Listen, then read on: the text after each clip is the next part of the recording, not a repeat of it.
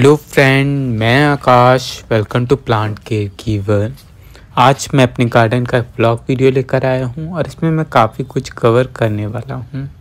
तो वीडियो की शुरुआत ये मैं पर्सलिनो पोचुलाका से कर रहा हूँ और ये वीडियो मैं शाम को करीबन साढ़े चार के करीबन मैं बना रहा हूँ। देख सकते हैं पोचुलाका आज शाम तक खिले हुए हैं क्योंकि आज सुबह से ही बारिश हो रहा था, धूप निकला नहीं था तो ये प्लांट जो फ्लावर हैं वो अभी तक फेड नहीं हुए हैं और ना ही बंद हुए हैं। और ये मैरी गोल्ड का प्लांट है, देख सकते हैं, बहुत ज़्यादा लेगी हो चुका है। कटिंग से भी ये बहुत ही आसानी से बारिश हो रही हो रेनी सीज़न हो तो बहुत ही आसानी से ये ग्रो हो जाता है। तो मैंने सोचा कि मैं इसकी कटिंग लगा लेता हूँ, क्योंकि मैं इस, इसकी पिंचिंग करना भूल गया था तो ये काफ़ी लेगी हो चुका है। तो आपका भी प्लांट अगर इस तरह से लेगी हो तो आप इस टाइम इसकी ढेर सारी कटिंग ग्रो कर सकते हैं। बहुत ही आसानी से ये बारिश हो रही हो तो कटिंग से ग्रो हो जाता है। तो इस तरह की मैंने कटिंग लिया है। आप जिसमें दो तीन लीफ नोड हो, वो ले लीजिए, बहुत ही आसानी से ग्रो हो जाएगा। बस मिट्टी अच्छी तैयार करिएगा, देखिए। देख सकते हैं, मैंने cocopeat perlite cow dung compost और गार्डन सॉइल जिसमें पहले से बजरी मिली हुई है। उससे यूज़ करके, इन सभी को मिक्स करके एक बेल्ट्रेन सॉइल बना रहा हूँ और इसमें मैं ये मैरीगोल्ड की कटिंग आज ग्रो करने वाला हूँ। इसका अपडेट भी मैं टेन डेज़ बाद आपके साथ शेयर करूँगा। बहुत ही आसानी से ये तब तक ग्रो हो चुका होगा। तो आप भी इस तरह की बेल्ट्रेन सॉइल बना सकते हैं और ना हो तो आप केवल सैंड का यूज़ करके या फिर केवल बजरी का यूज़ करके उसमें भी ग्रो कर सकते हैं। उसका भी बढ़िया रिज़ल्ट देखने को मिलता है। और एक्स्ट्रा पत्तों को आप हटा दीजिए और देख सकते हैं इसमें एरिया रूट आए हुए हैं पहले से ही तो ये बहुत ही आसानी से अब तो ग्रो हो जाएगा। तो इस तरह की तीन से चार कटिंग मैं इस कंटेनर में ग्रो करने वाला हूँ और फ़िलहाल मेरे पास ये दो तीन ही हैं और जो मैंने सीड से लास्ट ईयर मैंने सीड हार्वेस्ट किए थे, वो भी फ़िलहाल अभी रखे हुए हैं। उनके भी सीड मैंने कुछ डाले थे तो वो भी ग्रो हो चुके हैं। और कटिंग लगाने के बाद पानी डालना मत भूलिएगा। मैं तो ये रेन वाटर यूज़ कर रहा हूँ हार्वेस्ट करके मैं रख लेता हूँ जब भी बारिश होता है और कटिंग ग्रो करता हूँ। या फिर इंडोर प्लांट में मैं रेन वाटर ही फ़िलहाल इस्तेमाल करता हूँ। इसके अलावा देख सकते हैं, शाम हो चुकी है तो ये गुल दोपहरी और ये कॉस्मस दोनों ही अच्छे से ब्लूम कर। रहे हैं ये शाम को ही ब्लूम होते हैं और फ्लावरिंग ख़त्म होने के बाद इस तरह से ढेर सारे सीड भी बनाते हैं। तो इस साल मैं इसके काफ़ी सारे सीड हार्वेस्ट करके रख लूँगा। वैसे पिछले साल भी रखा था, लेकिन वो मिलते ही नहीं है तो इस साल मैं सोच रहा हूँ कि सीट का एक मैं डिब्बा ख़रीद लाऊँ, ताकि सीट मैं एक ही जगह पर रखूँ और सही सलामत वो मुझे हर साल मिल जाए। इसके अलावा देख सकते हैं, ये अरेबियन वैक्सा भी काफ़ी अच्छे से ग्रो कर रहा है। और इस कंटेनर में मैंने बोगन बेलिया की कटिंग ग्रो किया था और तीन ऐसे ही ये चाइनीज़ वॉयलेट भी मैंने इसी में दबा दिया था तो ये अच्छे से ग्रो हो चुके हैं। तो मैंने सोचा कि मैं इसकी आज प्रूनिंग कर देता हूँ ताकि ये और भी बुशी हो जाए। जितना प्रून आप करते हैं, उतना ये प्लांट बुशी होता है, क्योंकि अभी काफ़ी लगी हो गया था, हो रहा है। और रेनी सीज़न है, बारिश भी अच्छी हो रही है, मौसम भी बहुत ही बढ़िया है। तो इसकी कटिंग भी बहुत ही आसानी से ग्रो हो जाएँगी। तो ये प्लांट आपके पास ना हो तो आप नर्सरी से ला सकते हैं। थर्टी रुपीज़ तक ये बहुत ही आसानी से नर्सरी में मिल जाता है। और एक बार ऐड करेंगे तो हमेशा आपके गार्डन में भी ये बना रहेगा। फ्लावरिंग नहीं ख़त्म, नहीं करता है तो इसके पत्ते ही सुंदर लगते हैं और जब फ्लावरिंग होती है तो पूरा प्लांट फूलों से भर जाता है। पोर्चुलाका की तरह आप इसकी भी ढेर सारी कटिंग ग्रो कर सकते हैं। तो इसे भी आप अपने गार्डन में ज़रूर ऐड करिएगा। मैंने तो इसे कटिंग से ग्रो किया था और इस तरह की देख सकते हैं बहुत सारी कटिंग आज भी मैं इसकी ग्रो करने वाला हूँ।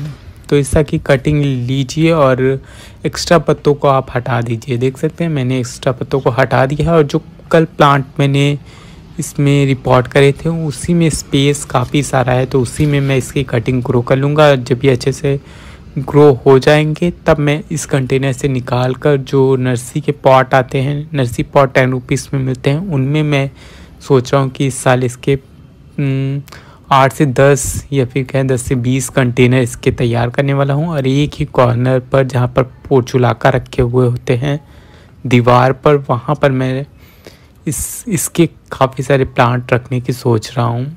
एक साथ रखे होंगे तो बहुत ही सुंदर लगेंगे। तो इसीलिए मैं इसकी, इस टाइम ढेर सारी कटिंग ग्रो कर रहा हूँ।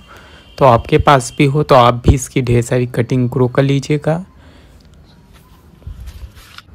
तो इस तरह से जितनी भी कटिंग थी, दोनों कंटेनर में मैंने ग्रो कर लिया है और ये मैंने दो तीन दिन पहले ग्रो किया था। तो इस तरह से मैं इसकी कटिंग समय समय पर ग्रो करता ही रहता हूँ। इसके अलावा ये मैक्सिकन पिटूनिया इसकी भी आप इस टाइम कटिंग ग्रो कर सकते हैं। आपको ये प्लांट कहीं पर देखने को मिले तो आप इसकी कटिंग ले आइएगा और इसकी अगर आप प्रूनिंग करते रहते हैं तो साल भर ये प्लांट आपके गार्डन में ब्लूमिंग करता रहता है।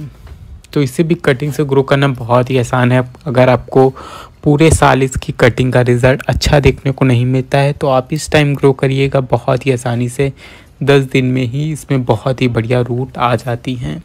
और एक कटिंग मैंने कुछ दिन पहले ग्रो किया था तो उसका भी मैं आज आपको अपडेट दूँगा, दिखाऊँगा कि उसमें कैसी रूट अभी बन चुकी हैं। इसके अलावा ये रेन लिली सुबह खिला हुआ था, दो कल और खिलेंगे।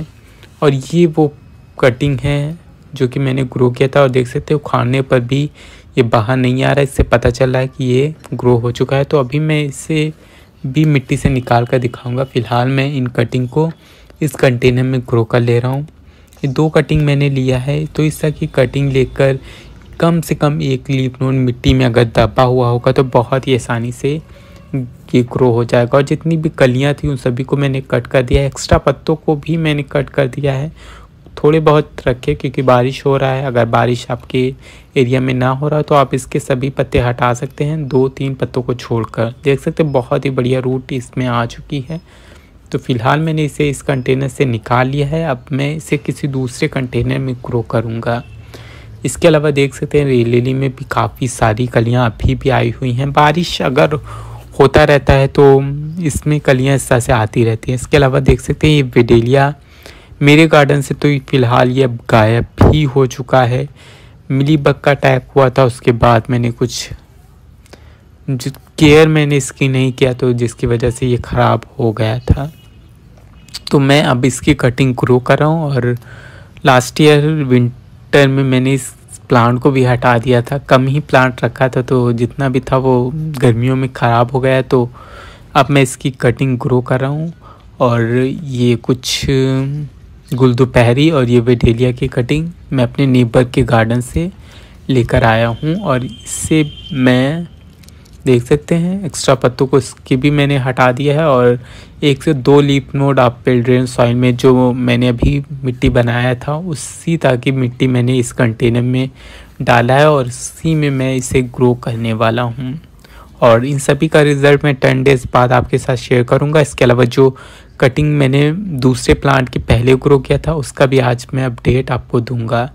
तो ऐसा कि एक एक लीफ नोट को मैं इस कंटेनर में लगा रहा हूँ, ये विडेरिया है और बाकी जो स्पेस है उसमें मैं ये गुलदाउदी की कटिंग ग्रो कर लूँगा और कुछ ही दिनों बाद मैं नर्सरी भी जाने वाला हूँ तो इस तरह के जो ब्लैक कंटेनर होंगे, वो मैं कुछ ले आऊँगा गुलदाउदी की कटिंग ग्रो करने के लिए या फिर जो ग्रो हो चुकी हैं, उन्हें रिपोर्ट करने के लिए। ये बढ़िया रहते हैं टेन रुपीज़ में आसानी से मिल भी जाते हैं और गार्डन में तीन से चार साल तक तो बहुत ही आसानी से, फुल धूप में ये चलते रहते हैं, इतनी आसानी से ख़राब नहीं होते हैं। देख सकते हैं रेन वाटर ही फ़िलहाल मैंने इसमें डाला है और ये बाहर ही रखा हुआ है तो बारिश का पानी इस पर पड़ता रहेगा।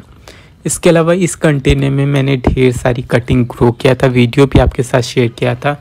तो मैंने सोचा कि आज मैं इसका आपको अपडेट दे देता हूँ। तो सबसे पहले मैं ये सेंसेवेरिया सिलेंडर का निकाला है। देख सकते हैं, बहुत ही बढ़िया रूट इसमें आ चुकी है और क्योंकि मैंने खींचा है तो काफ़ी सारी रूट टूट भी गई हैं।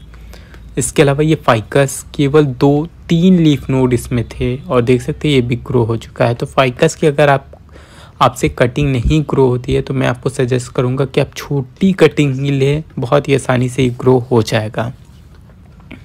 इसके अलावा ये क्लेशिया फ्रेग्रेंस इसे मैं नहीं निकाल रहा हूँ क्योंकि इसका तो आपको पता ही चल रहा है कि ये ग्रो हो चुका है।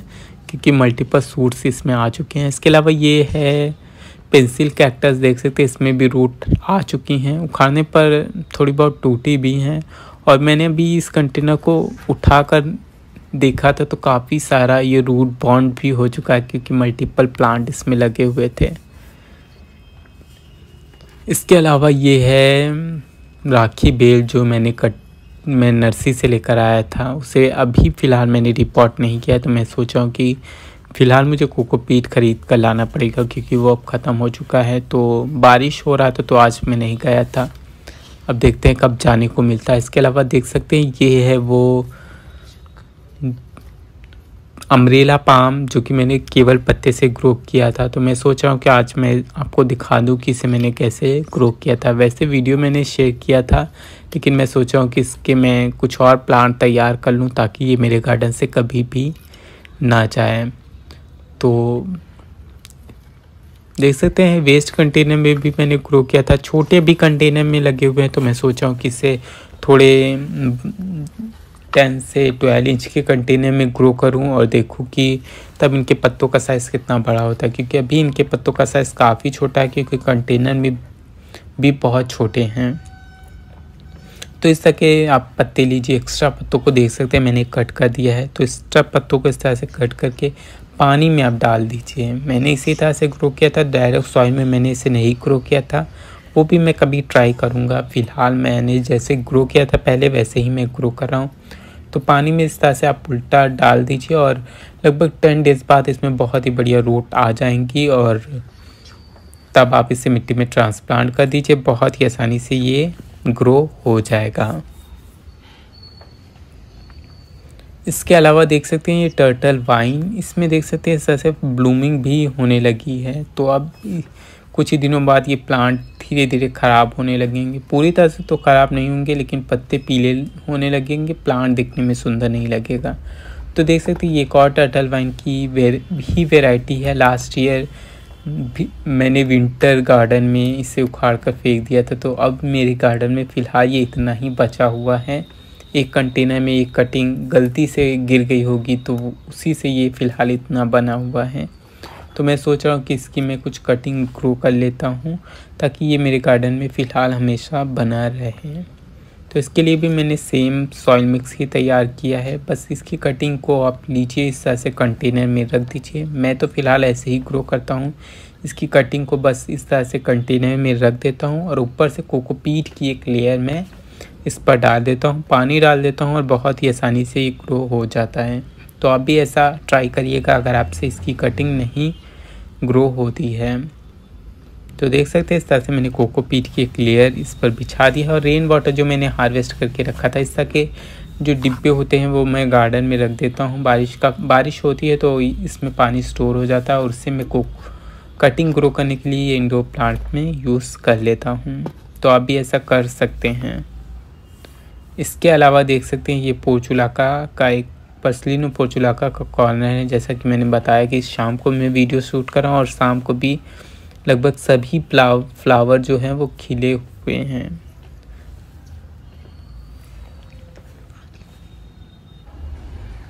तो ये था मेरा आज का वीडियो। आई होप कि आपको मेरा ये वीडियो पसंद आया हो। वीडियो पसंद आया हो तो वीडियो को लाइक कीजिएगा।